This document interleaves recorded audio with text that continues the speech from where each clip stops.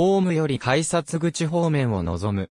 かつては、東急各駅で見られた木造の上屋が、今も残る。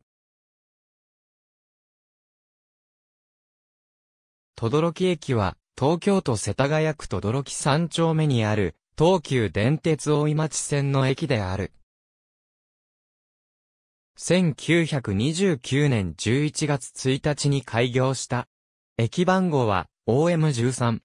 島式ホーム一面二線を有する地上駅で、駅舎はプラットホームから二子玉川側に連続して上下線に挟まれた場所にある。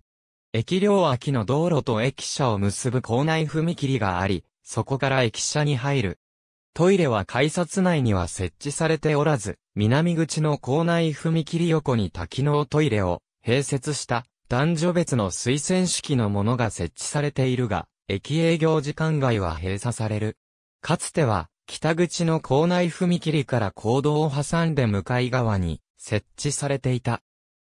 2014年に東京都市大学都道キャンパス前という施設案内看板がホーム駅名表に掲出された。当駅は、大井町線において、最後のホームドア設置駅となり、2020年3月22日の運用開始をもって、世田谷線、子供の国線を除く東急線全駅へのホームドア、センサー付け固定式ホーム柵の整備が完了した。田園都市線の複々線化並びに混雑緩和と、それに伴う大井松線改良工事の一環として、駅舎改築とともに当駅を地下化し、一面二線の島式ホーム及びその両外側に急行通過線を設ける計画がある。当初は、上り通過線を当駅に、下り通過線を隣の小山台駅に分けてそれぞれ設置する計画だったが、後に上下線と元駅に設置する計画に変更された。しかし、駅の地下化によって、当駅付近に位置する東京23区内で唯一の渓谷である、轟渓谷の湧水が妨げられ、渓谷の自然が破壊されるとの懸念から、工事反対の声が上がったため、世田谷区を中心として、轟駅地下化工事技術検討委員会が設立された。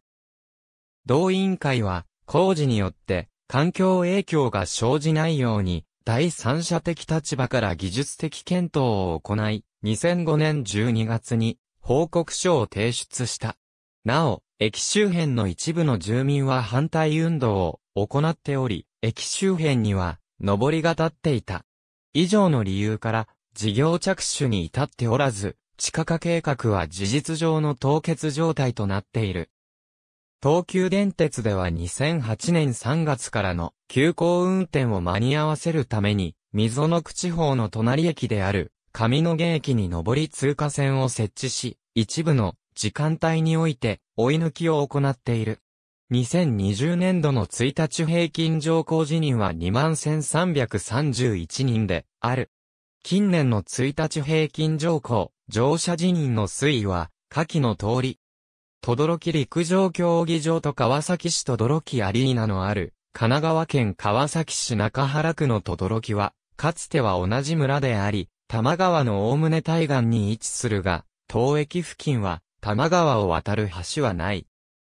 東京都と川崎市は2025年の完成を目指し、同駅のすぐ東側を高架で通る東京都道312号、白金台町轟線を延長して多摩川を越える、轟大橋の建設計画を進めている。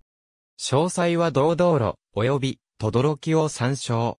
東急バス轟総社所駅周辺のバス停から、5系統が運行されている。すべて東急バスによる運行である。